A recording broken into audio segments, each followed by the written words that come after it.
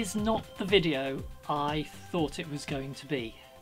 Um, this was going to be was going to be me bending the sides. I'd I'd filmed the intro, um, but I had a couple of problems. yeah. Now the first problem you might have been aware of in the previous video. Um, as I was using the bandsaw to cut the, the straight edge on the sides, cutting the two pieces at once, the bandsaw, the blade jumped at the end of the cut. Now this is something I wasn't aware at the time. Um, I only saw it in the edit. I was aware that there was a vibration um, because, well, there, there, was a vibration because there were two pieces of wood that had warped and were separated. So the top piece was kind of in midair and it was flapping around a little bit. So there was definitely a vibration. And I just thought the, the really hard vibration at the end was, was simply that. It wasn't. Um, in the edit, I could see clearly that the blade jumped forward um, off the guides ab about a centimetre. Um, I was quite shocked when I saw it in the edit. So uh, when I came back to finish off uh, cutting the sides to width after the sides had settled down and the warping had gone and they were nice and straight again. And I was going to cut them one at a time. Um, I opened up the uh, bandsaw to find that the tyre had come off the wheel. Now part of the blame for that could have been the heat when I was previously using it. It was very hot in here so the rubber may have softened a little bit. But the, the rubber had, um, had degraded, it had perished. Um, it, was, it had gone hard and it was starting to crack. And this is something that actually happened to the bottom wheel. It was the top wheel that, had, that the tyre had come off. But I'd had a problem with the bottom wheel a while back, and the way I fixed that, rather than buying new tyres, I'd superglued the tyre to the wheel. Um, and because I needed to get things done and I was in a hurry, um, I decided to superglue the tyre on the top wheel. But it took three attempts. Uh, I was trying to use as little superglue as possible, just putting some little drops, six little drops around the, the, the, the rim. Um, but I had to use more and more super glue because the first couple of attempts failed and it was only on the third attempt that I actually managed to uh, use the bandsaw without the tyre coming off again. So that had got me all a little bit rattled and I it took me I think two hours to get the side cut and by then again it was just way too hot in here. I'd started early um, but by then the sun was coming round and this conservatory was heating up and uh, I gave up. So I came back the following morning, um, all, all nice and early again, uh, ready to bend the sides. Um, but I had to wait an hour for my uh, bending iron to warm up and I guess it was about 10 o'clock before I'd started and already it was starting to get really quite warm in here and um, I decided to do a practice bend. Um, now I've, I've, I've practiced my bending before, I've, I've verified that I can get round the tight curves, um, but I guess I'd never practiced doing the whole side in one go. And that does bring its own little challenges. But I used one of the, the, the, the strips that I'd cut off, the, um, the sort of the wavy side, the underside of the, the side, a strip about that wide and I set about bending. And I guess I was looking at the thermometer and watching the temperature go up and I was I was sweating, I was so hot and getting a little bit frustrated. And I'd got round most of the side and I think I'd done the worst of the curves. Um, and then I broke the test piece. And I just freaked out. Um, a lot of this I do find quite stressful. There are various steps I do which have got to be done just right. And I, I, get stressed out about them. And of course, filming it all as well, that just adds to the stress. You've got another thing to think about. You, it's, yeah, I find it stressful.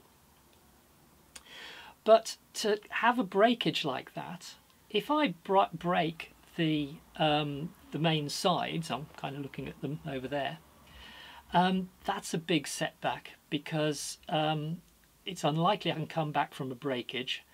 Um, possibly I can super glue the sides together, maybe. But it's basically start again. It's basic. I haven't got any more um, thickness walnut. I'd have to go out and purchase some and get it all prepared again. Um, it won't have time to settle down, although I guess thin walnut will acclimatise fairly quickly. Um, but it's, yeah, it's not something I really want to contemplate.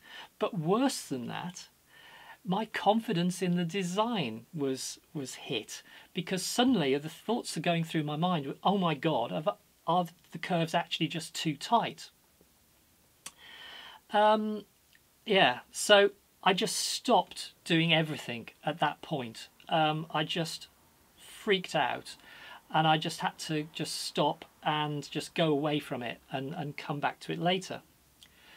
So the following day, I felt a little bit better when I saw the break and I'll, I'll show it you now. Here's the piece and the break's just here. Now, the thing you'll notice about the break is it's not at the peak of the curve. It's in the middle where there is no curve, where the one curve becomes the next curve. And I think the problem with this was that I got the, the piece on the iron and I suspect I had my hands way too far apart and was bending like this. And this piece here would have been cold where the break is. So where it's hot, it will bend. It should get floppy. You'll usually feel when it's floppy and you can, you can then work your way into the bend. But back here, it is cold and brittle. And I suspect what happened um, is that I was pulling like this and this became a weak spot and broke. This iron's cold, by the way. Um, so I, I guess the answer is don't do this sort of thing where you can end up breaking it back here. Keep your hands near the work and only put pressure on the bit that you're actually trying to bend. Don't put pressure further back. I think I learned a valuable lesson there. So I decided that I would just do a test bend for this for this video just to get my confidence back so I used the two much narrower pieces that I took off the, the, the straight edge, the, the front edge of the sides. And that's what you see in this video although I, I actually only filmed the one of them um, and you'll see that. Um, so uh, roll VT I'm going to go and soak this for 10 minutes and then we'll get going. Right this is where I'm going to start. This is the bottom of the guitar and the key thing here is that this is the center of a curve. And this is the break point. This is where the curve goes the other way. So I want to bend just that part and you can see now why I've chosen to have extra at the end. Um, you just can't bend right up to the middle of a curve. Um, and I'm just going to mark on here just there. That's the sort of the, the other extreme of the curve. So I'm just going to put a gentle gentle curve on there to begin with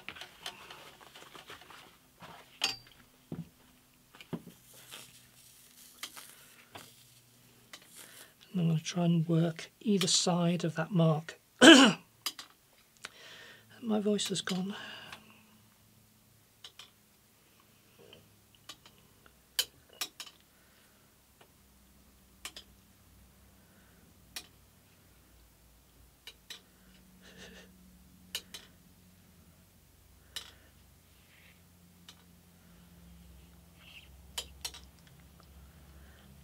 trying to keep it on that mark. Is that enough? A little bit more.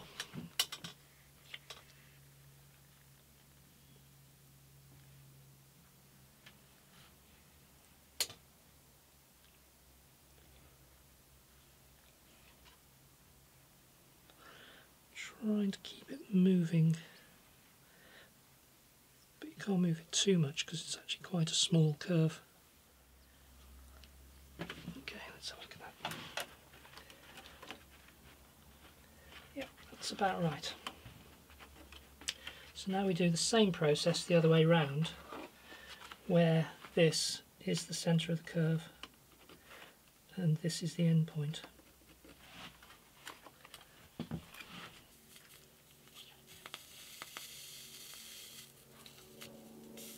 You really do feel the wood go floppy as it uh, as it heats up. This this is actually one of the trickiest curves because it's so close to the previous curve. And uh, I, I, know this from previous experience. um, I have done another test.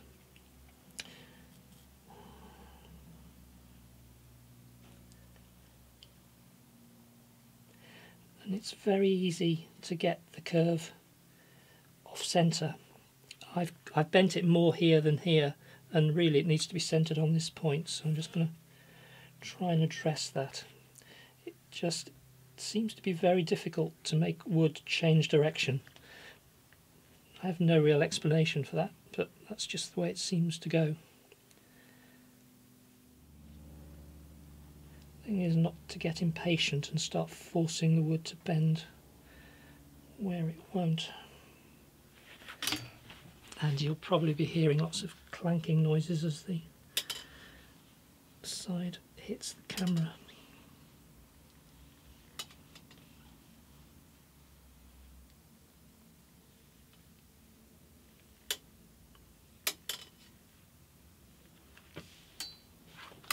Let's just hold that in there for a second.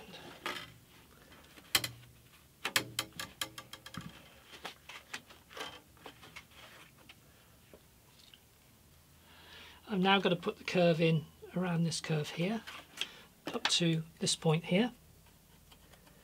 I've, I've marked all the breakpoints on the edge of the mould and although this isn't really a breakpoint, this is where the proper sort of full curve starts. It's, it's almost flat at this point. Um, so that's the part that I've got to work on.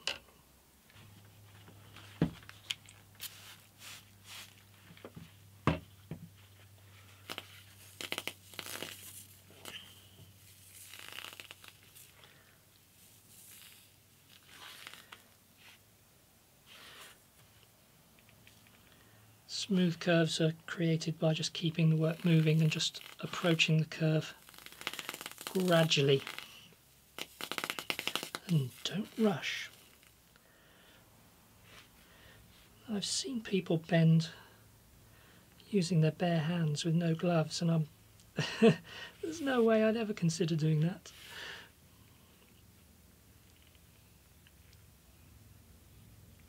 Although some people do use a a bending strap so there is something between the hands and of course once you've got the full width sides you've got the sides but even so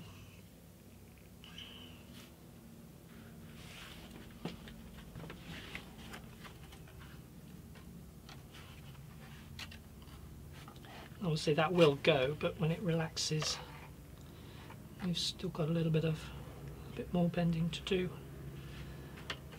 in this area. I'd like, if possible, to get the wood to fit the mould without any tension in it, but uh, this will of course be left for a while to let the wood relax.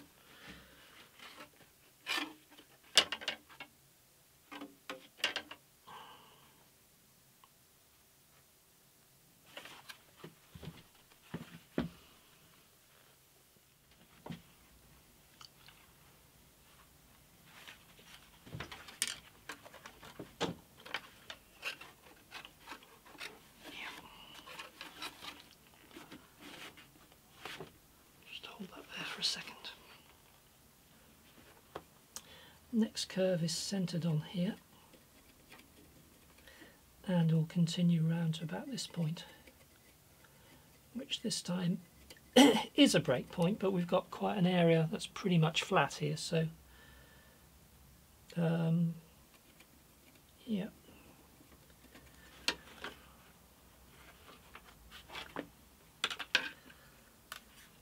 Transfer this over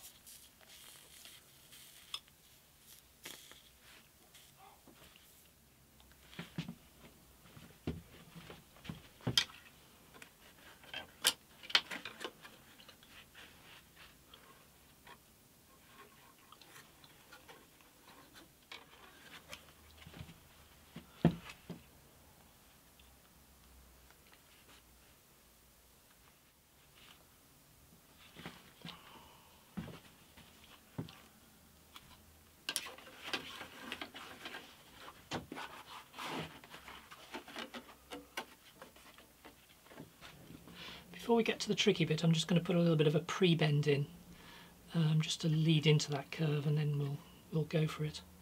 So I'm just going to put a slight bend along here.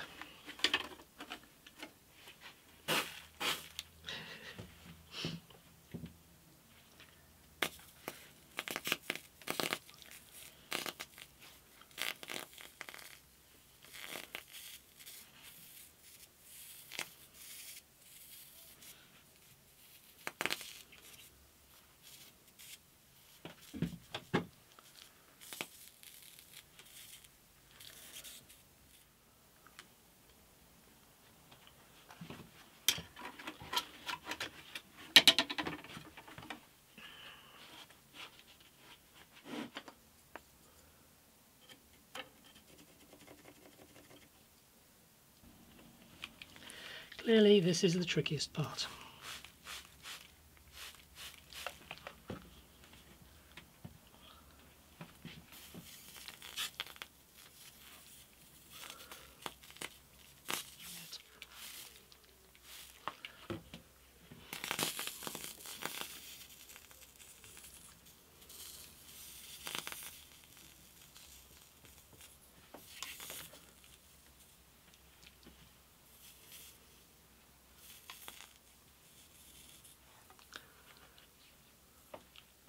Thing with a tight curve like this is not much of the wood is on the iron. It's difficult to get the heat into the iron into the wood uniformly. And the danger is you're trying to bend cold wood, which is definitely not going to bend. And then holding it against the iron for too long, apart from warming your fingers up a bit, you're in danger of scorching the wood.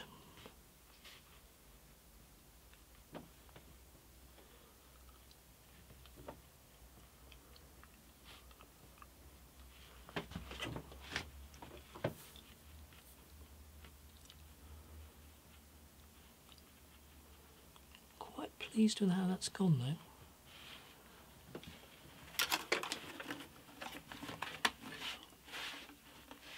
That will do nicely.